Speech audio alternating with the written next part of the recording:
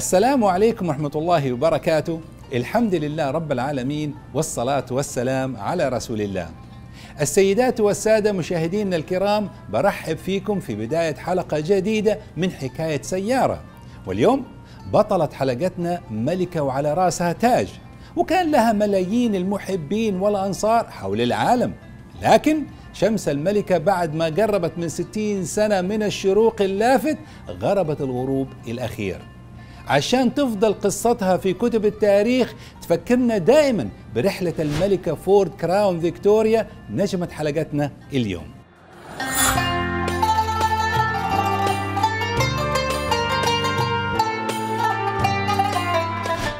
كراون فيكتوريا حضرات السادة المشاهدين من أشهر السيارات الأمريكية في تاريخ فورد.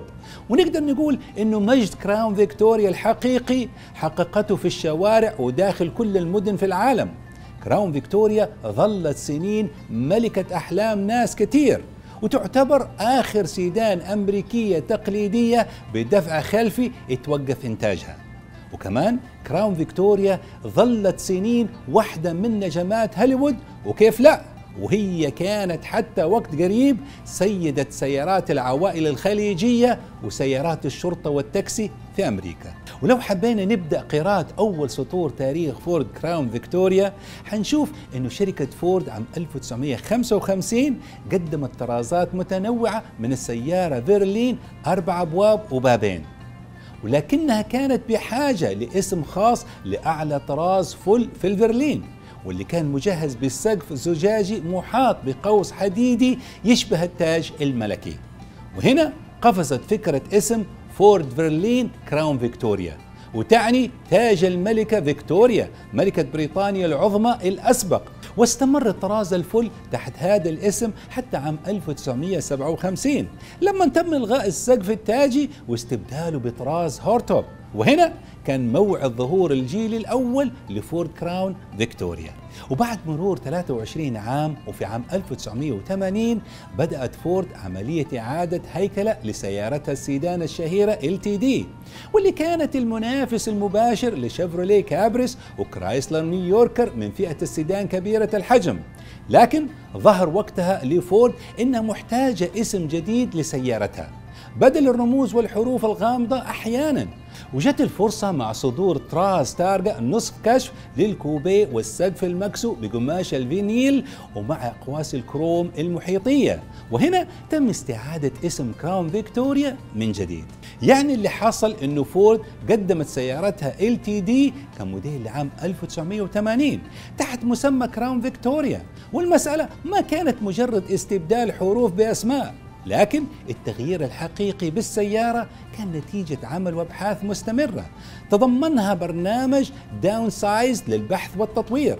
والقائم على إعادة تصغير وزن السيارة السابقة لتوفير استهلاك الوقود بسبب أزمات النفط المتلاحقة على أثر حرب أكتوبر 1973 واللي استمرت تبعاتها الاقتصادية لحد نهاية حقبة السبعينيات ونفس السيناريو حصل مع شيفروليه كابريس وكرايسلر نيويوركر. ولكن كرايسلر خرجت من المنافسة بسبب انهيارها الكبير عام 1981 حصل الهيكل الجديد لكراون فيكتوريا على شكل صندوقي يناسب هوية الثمانينيات القادمة. وزن أخف 454 كيلوغرام عن السابق ومحركين 6 سلندر و8 سلندر بسعة 5 لترات الشهير. وناقل حركة آلي ثلاثة سرعات مع طرازات أربعة واثنين أبواب و station wagon وطراز الشرطة الخاص للمطاردات والتاكسي. وممكن أغلب المشاهدين راح يستغرب إنه ليش هذا الطراز ما كنا نشوفه زمان وفين كان مختفي. والجواب هو إنه سيارات فورد كانت مقطوعة في الدول العربية بقرار من الجامعة العربية. بسبب بنائها مصنع في إسرائيل عام 1968 واستمر الحال على ما هو عليه حتى فك الحظر عام 1987 حكاية سيارة. أول نافذة عربية. تحكي تاريخ الصناعة. وإذا كان في تاريخ كل سيارة شهيرة لحظات مفصلية ومؤثرة في مسيرتها فهذا حصل مع كراون فيكتوريا عام 1988 لما حصلت على أول تحديثات منتصف عمر شبه جذري والأمر الثاني أنها وصلت سوقنا السعودي كأول كراون فيكتوريا بعد فك حظر جامعة الدول العربية. اللي كان مفروض على فورد. المهم أن التغييرات الجديدة شملت واجهة مهيبة وتعديلات انسيابية لبعض الأجزاء الحادة في الهيكل. واستبدال شعار حروف فورد بشعار فورد الأزرق الشهير البيضاوي. ونفس هذه التحديثات شملتها شقيقتها ميركوري جراند ماركيز ولينكولن تاون كار واشتدت المنافسة بين أضلاع مثلث صناعة السيارات الأمريكية. في عام 1992 أطلقت فورد الجيل الثاني من كراون فيكتوريا. وقبلها بسنة دشنت شيفروليه جيل جديد من كابريس. وكانت سيارة كراون فيكتوريا الجيل الثاني شيء مختلف تماما عن المعهود من حيث الانسيابية الكاملة بدل الشكل الصندوقي اللي ما عاد مقبول وقتها.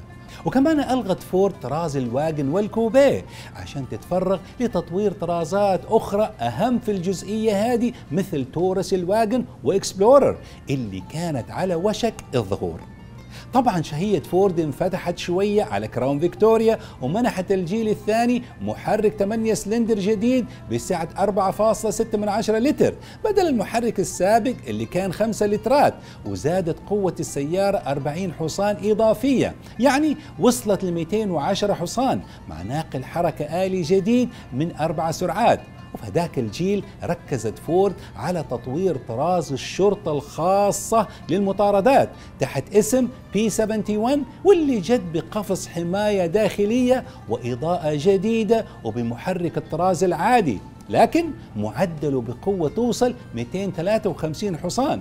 واستمر هذا الجيل على خطوط الإنتاج من عام 1992 حتى عام 1997 وأنتجت منه فورد أكثر من 670 ألف سيارة وكانت الأسواق الرئيسية لكراون فيكتوريا في أمريكا الشمالية وأسواق الخليج العربي.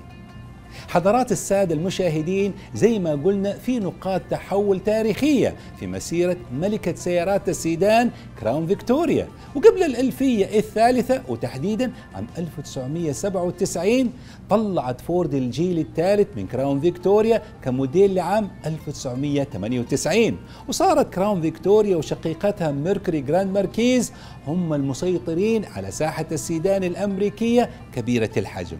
اللي حصل أنه شيفروليه كابريس يتوقف إنتاجها وفشلت كرايسلر كونكورد في تحقيق أي نجاح لأنها كانت نسخة أوروبية باهتة. هنا استغلت فورد فرصة خلو الساحة من أشرس المنافسين ودشنت الجيل الثالث من كراون فيكتوريا. بهيكل صار أكبر وأعرض وبنفس المحرك وناقل الحركة السابق وغيرت في أنظمة التوجيه والمساعدات وزودتها بإضاءة أمامية وخلفية أكبر. وكانت النتيجة مبيعات كبيرة حققتها الملكة كراون فيكتوريا خاصة لأجهزة الشرطة الأمريكية ولشركات التأجير العالمية. حكاية سيارة. ملايين المشاهدات تدفعنا للأمام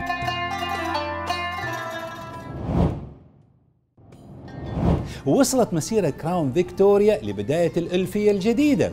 ودخلت من بوابة القرن الواحد والعشرين وهي مسيطرة تماما على الأسواق. لكن زي ما بنقول دائما عند التمام يبدأ النقصان والنقصان بدأ لما ظهرت أسماء جديدة في ساحة السيدان وبمحركات 8 سلندر قوية في السوق الأمريكي. وكمان الخليجي حنشوف مثلا إنه شركة جنرال موتورز رجعت ثاني شيفروليه الكابريس من بوابة فرعها الأسترالي هولدن. وقتها كانت كابريس مخصصة فقط للسوق الأسترالي والنيوزيلندي والجنوب أفريقي. ولأول مرة تتصدر خارج الأسواق هذه بمقود في اليسار. وطبعا أي قوة جديدة بتظهر في أسواق السيارات بتاخذ من رصيد القوة الموجودة. ومن هنا بدأ مؤشر مبيعات كراون فيكتوريا في التراجع. وكعكة السيدان كبيرة الحجم صارت مقسومة مش بس على كراون فيكتوريا وكابرس لكن كمان دخلت على الخط وبأسواقنا الخليجية عام 2005 كرايسلر سي 300 وبمحرك 8 سلندر هيمي الخارق. وكان من الواضح إنه المنافسين كسبوا أرضية كبيرة وبسرعة وظهروا أكثر نشاط وحيوية من كراون فيكتوريا اللي ظلت متأخرة وحابسة نفسها داخل تقاليد تصميمية وتكنولوجية بتعود أحيانا لخمسينيات وستينيات القرن الماضي. مشاهدينا الكرام علمنا التاريخ إنه لما نوصل لقمة التل فالخطوة الثانية هي النزول. وهذا ما حصل مع كراون فيكتوريا.